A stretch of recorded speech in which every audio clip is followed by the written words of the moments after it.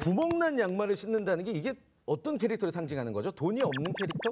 그러니까 짠돌이 캐릭터? 실제로 너무 궁핍한 생활을 하고 있고 어. 그 안에서 태호라는 역할은 정말로 못 살아서 돈이 없어서 어, 그렇게 구멍난 양말을 신고 심지어 신발도 없어요.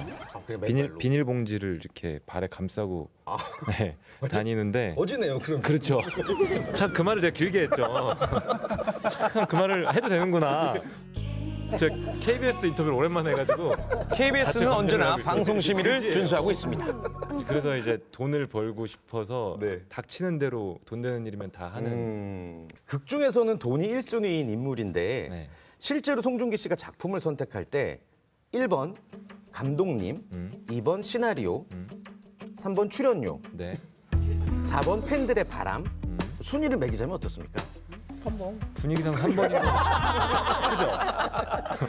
저 3번 하시면 다 3번 하실 거죠? 해볼게요. 오케이, 오케이. 자, 1번 감독님, 2번 시나리오, 3번 출연료, 4번 팬들의 바람. 3번이요. 3번이요. 저는 1번이요.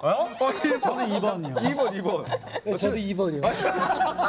멤버들이 장난기가 참 많죠. 승리호 멤버들의 장난에 당한 송중기 씨 당황한 것 같습니다.